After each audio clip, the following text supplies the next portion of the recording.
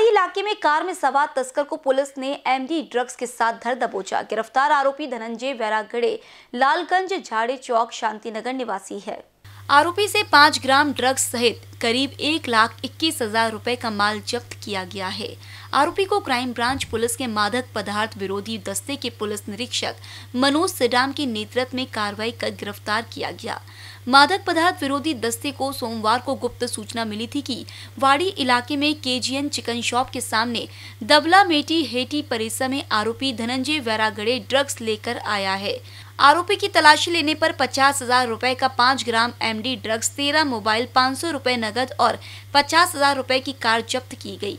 बरोबर आहे काल आम्ही पेट्रोलिंग करत होतो पोस्टेवाडीच्या हद्दीमध्ये तर पेट्रोलिंग दरम्यान काही एका संशय आला।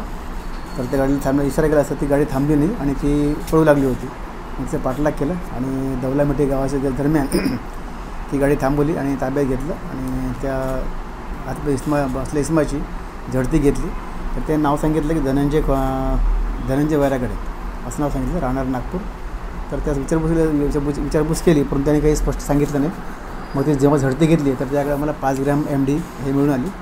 आणि म्हणून त्याला मी पोस्ट ऑफिसला आणलं आणि त्याच्यावरती एन डी पी ॲक्टनुसार कारवाई केली. त्याच्याकडनं पाच ग्रॅम एम डी आणि तीन हँडसेट मोबाईल्स आणि एक एक सेंट्रल वाहन असं जप्त केलं आहे आणि पोस्टेवाडी घेते त्याची तक्रार देऊन त्याविषयी गुन्हा दाखल केलेला आहे.